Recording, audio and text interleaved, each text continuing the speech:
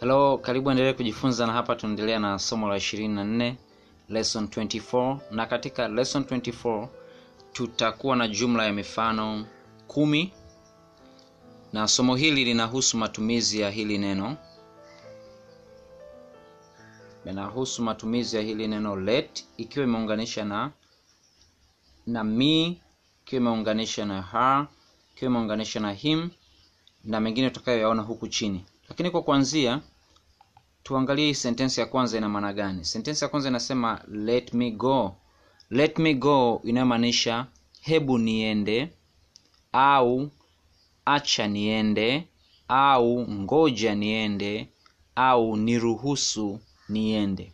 Maana hizo zote ambazo tunazitumia kwa kiswahili kwa kiingereza ni sentensi moja ambayo ni let me go. Lakini hili neno let ni sawasawa na ruhusu. Kwa hiyo let me go inaweza kuwa pia ni ruhusu niende. Let me go.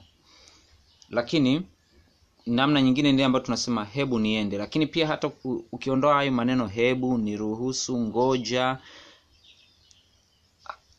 Le- let me go inaweza ikamaanisha niende. Let me go niende. Ko ile ambayo tunasema kwa kiswahili kwa kukatisha hivyo niende. Nije. Niseme.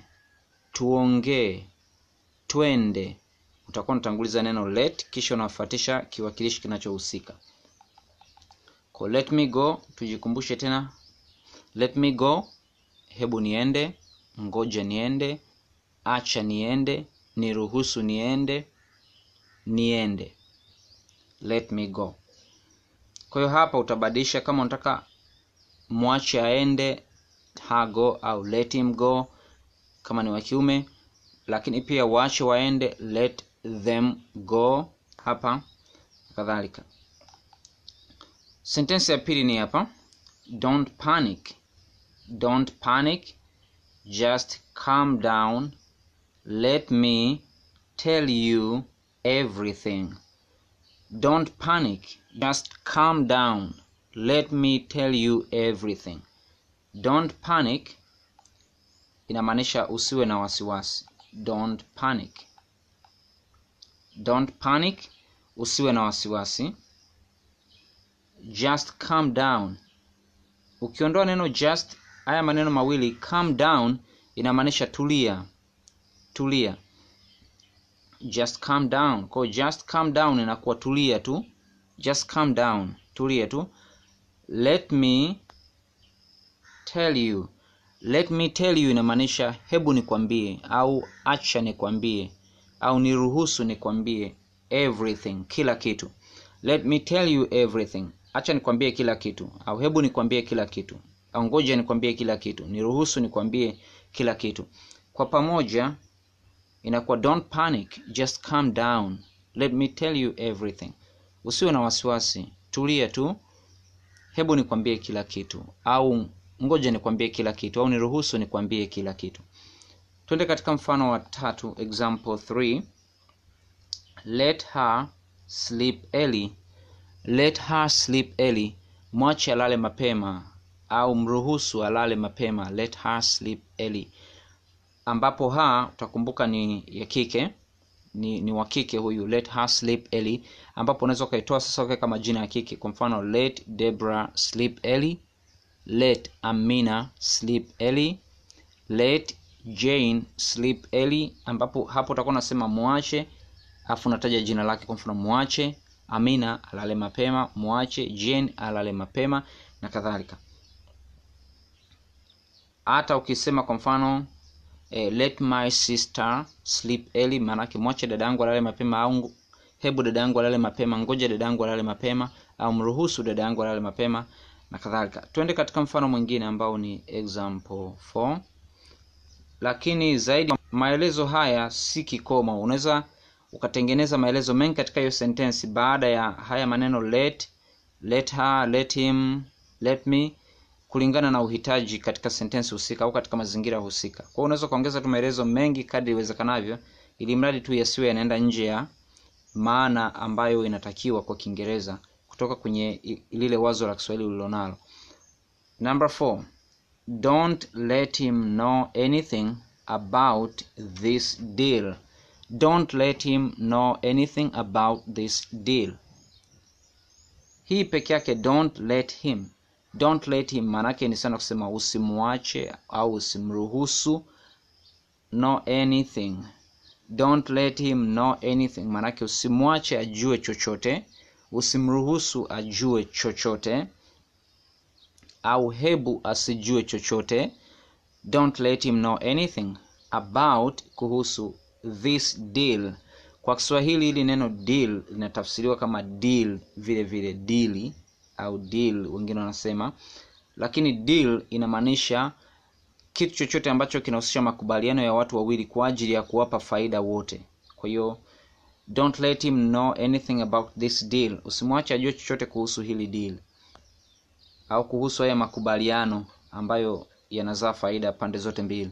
Don't let him know anything about this deal. Usimwache ajue kitu chochote kuhusu hili dili au usimruhusu ajue chochote kuhusu hili dili.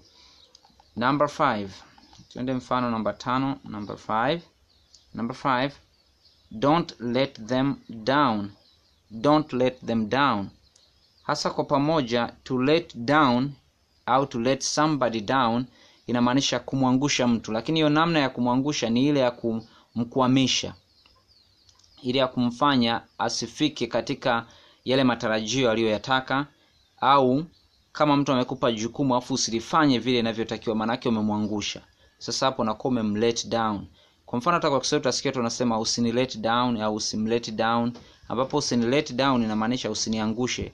Yaani usifanye tofauti na vile ninavyotarajia ufanye don't let them down maanake usiwaangushe. Don't let them down ambapo hapo kwenye them utaweka vitu tofauti tofauti. Kwa mfano don't- let her down usimwangushe don't let me down usiniangushe. Don't let teachers down usiwaangushe. Walimu na kadhalika.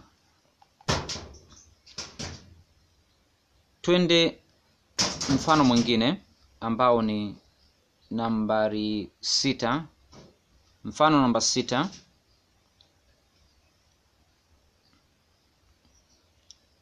mfano namba sita ni huu hapa. I want to let you do anything you can do to get out of this situation. I want to let you do anything you can do to get out of this situation. Twende taratibu na hii sentensi i want to let you do. Inamaanisha ninataka kukuruhusu ufanye. Au ninataka kukuacha ufanye. I want to let you do. Nataka kukuruhusu ufanye unataka nataka kukuacha ufanye. Anything you can do. Inamaanisha chochote unachoweza kufanya. Anything you can do. Kwa hiyo kwa pamoja i want to let you do anything you can do. Inamaanisha ninataka kukuacha ufanye chochote unachoweza kufanya.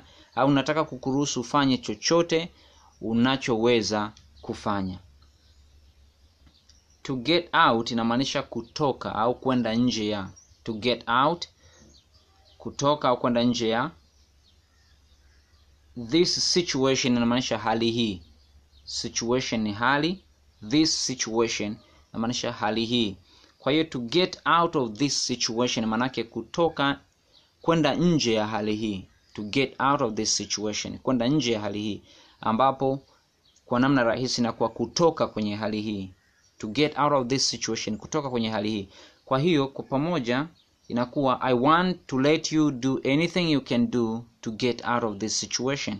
Nataka kukuruhusu ufanye chochote unachoweza kufanya kutoka katika hali hii au kuondoka katika hali hii. I want to let you do anything you can do to get out of this situation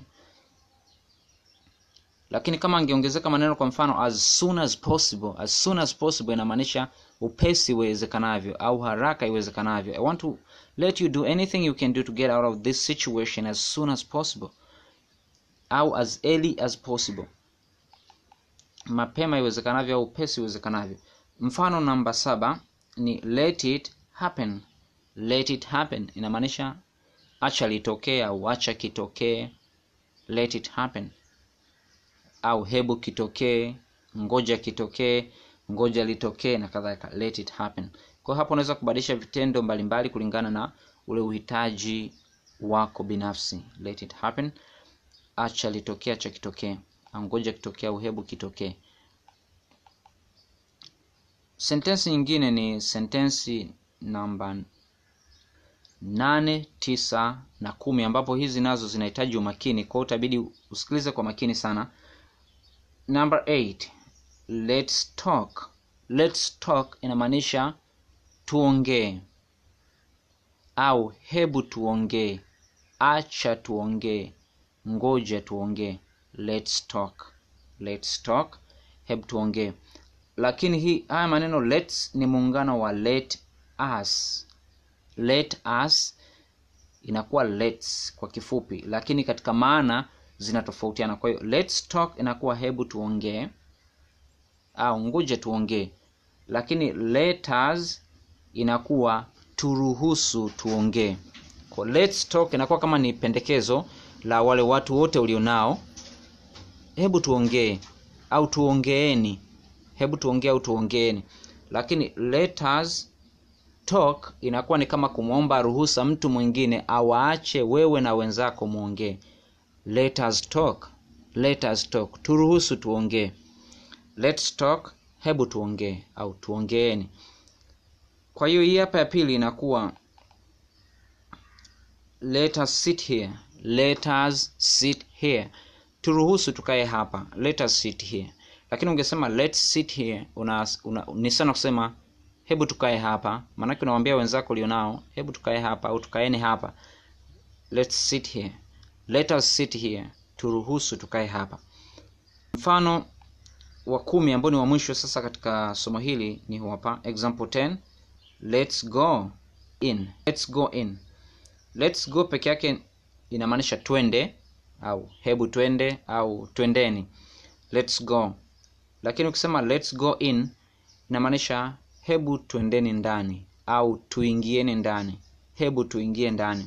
Let's go in lakini ukitaka kuomba ruhusa ya kuingia ndani mnamuomba mtu fulani awaruhusu mwingie ndani utasema let us in.